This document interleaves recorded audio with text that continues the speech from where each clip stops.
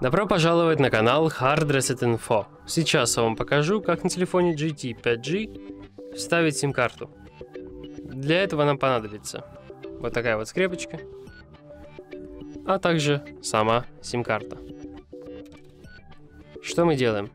Вставляем нашу скрепочку, здесь на сверху есть разъем и отверстие. Вставляем в это отверстие скрепочку, достаем наш разъем. После чего Смотрим. Первая сим-карта у нас находится здесь. Более дальний слот. И слот для второй сим-карты получается ближе. После того, как мы вставили нашу сим-карту, вставляем это все обратно. И закрываем.